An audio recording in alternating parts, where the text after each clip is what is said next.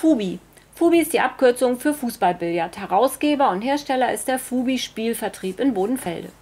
Das Spielfeld ist schnell aufgebaut. Alles, was du brauchst, sind 10 Minuten und einen Hammer.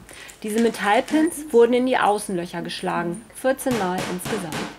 Diese Kunststoffpins hier, die farbig sind, stellen die Spieler dar. Sie sind dünner und werden in die übrigen Löcher geschlagen. 26 Löcher gibt es hier noch. Diese Kunststofffählchen, die sind oben leicht dicker und unten dünner und deswegen empfiehlt es sich wirklich die dünne Seite einzuschlagen. Wir haben die Spieler so angeordnet wie auf dem Bild der Verpackung hier. Jetzt noch die weißen Verschlusskappen auf die Metallpins stecken und die Bande darum spannen. Es kann beginnen. Jeder Spieler, es können immer zwei Spieler gegeneinander antreten, erhält einen Schläger, rot oder gelb. Damit wird immer abwechselnd die Kunststoffkugel gespielt. Jeder ist abwechselnd an der Reihe.